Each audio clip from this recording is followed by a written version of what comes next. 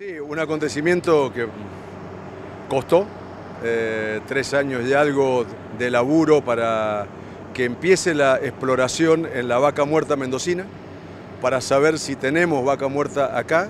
Van a faltar algunos meses, pero había que empezarlo. Hay que acordarse que en el país comenzó vaca muerta hace 10 años más o menos, y en Mendoza no había empezado, o sea que este es un, un día simbólicamente importante. Ahora hay que esperar que trabajen, que, los trabajadores cumplan con, su, con su tarea y dentro de unos meses ver si tenemos petróleo bajo. Es lo que esperan los geólogos, lo que nos presentaron hoy los de IPF, pero como ellos dicen siempre puede haber algún imponderable.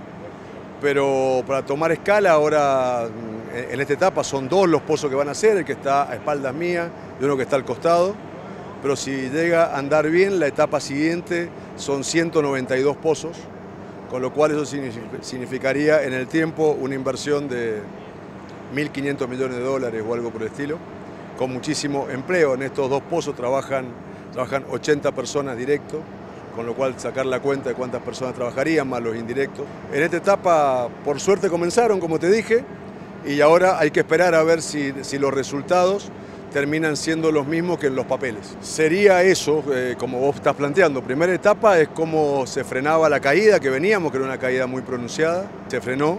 Y el desafío para el futuro inmediato es que este te diría que es el más importante, porque si tenemos vaca muerta en Mendoza, la actividad que viene acá puede volver a hacer para toda la provincia y para Malargüe en particular nuevamente una zona petrolera.